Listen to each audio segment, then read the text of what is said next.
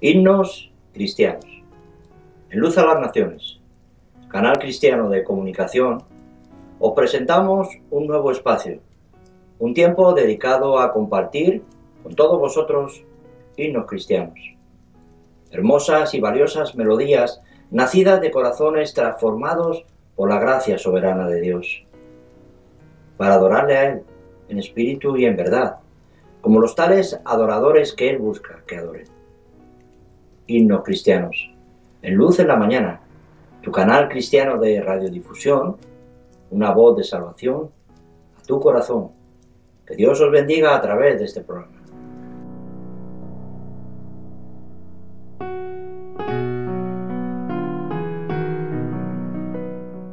Himnos cristianos.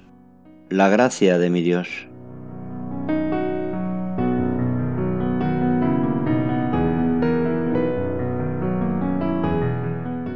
La historia detrás del himno.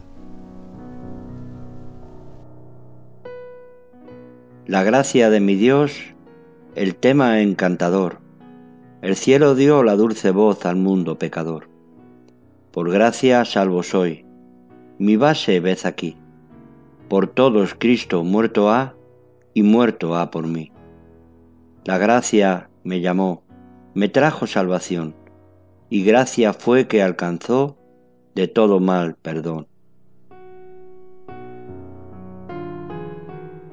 En una de las grandes campañas evangelísticas había un letrero que decía, Cada tarde a las 3 y a las 7, el doctor Moody de Chicago predicará el Evangelio y Eira David Sankey de Chicago cantará el Evangelio. Esto caracterizó el ministerio de Eira David Sankey. Él cantaba el Evangelio.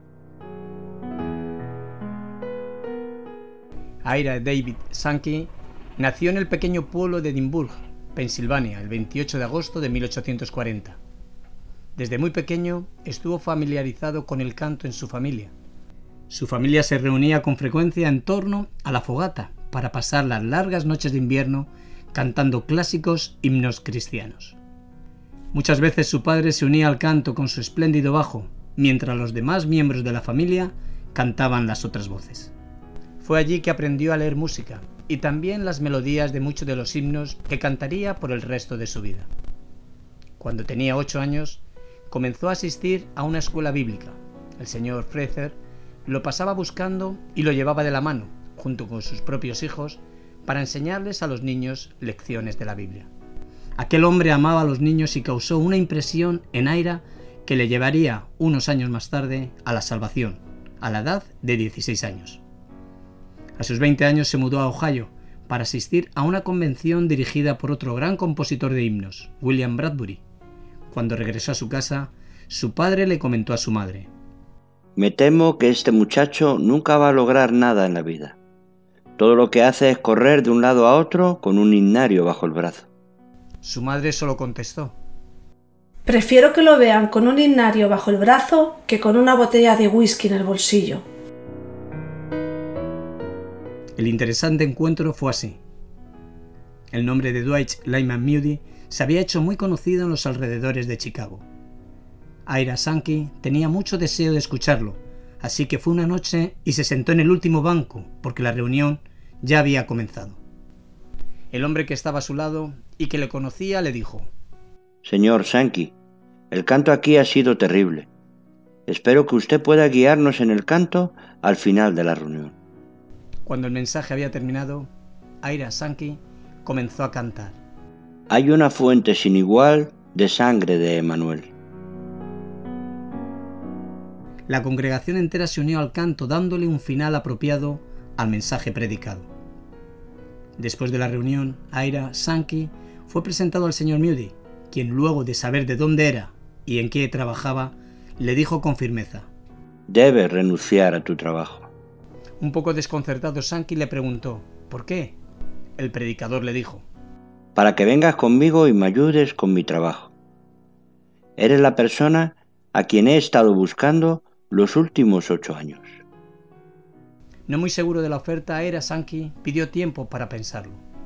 En 1871, luego de seis meses de oración y siguiendo el consejo de otros hombres espirituales, Sankey renunció a su buen trabajo para unirse a Dwight Lyman Moody en sus campañas evangelísticas. Estos dos hombres fueron grandemente usados por Dios en la predicación del Evangelio en varios países como Estados Unidos, Inglaterra, Escocia e Irlanda. Dwight Lyman Moody y Ira David Sankey fueron siervos inseparables por más de 25 años de servicio al Señor. Miles de personas escucharon el Evangelio predicado y cantado por boca de estos dos hombres.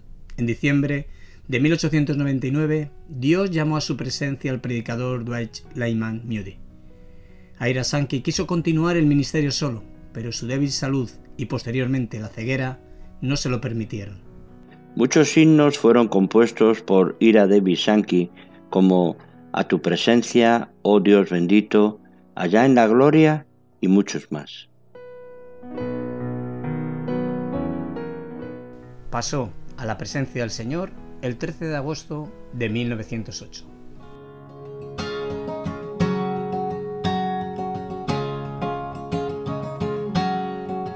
La